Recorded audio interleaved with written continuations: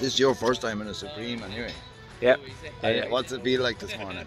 Ah, it feels good. Yeah. Yeah. Yeah. I'm looking forward to yeah to go.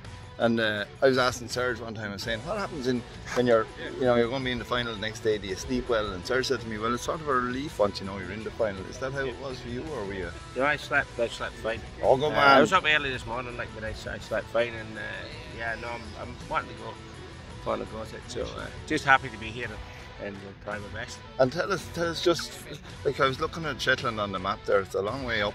How long does it take you to get to the to the mainland, to Aberdeen, or that? It's about uh, it's about 12, 13 hours.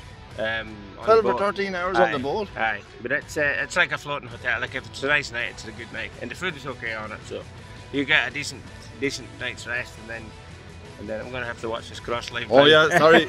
More important things to do. Good luck later on. Thank you very much.